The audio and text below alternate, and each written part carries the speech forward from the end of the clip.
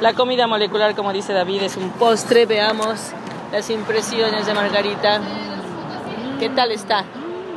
De alférez de azúcar. Mm, mm, mm. No, ya sé. La, Aquí la adentro había, era, era un... ¿De qué está hecho este cristalito? Ah, de azúcar. De azúcar y tiene adentro este mm. incienso. Incienso. Mm, incienso. Ñam, ñam, ñam. No, y está riquísimo el Voy a pedir, voy a pedir el.